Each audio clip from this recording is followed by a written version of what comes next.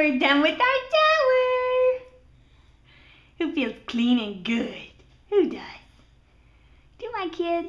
Yay! Now mommy has to go get pants.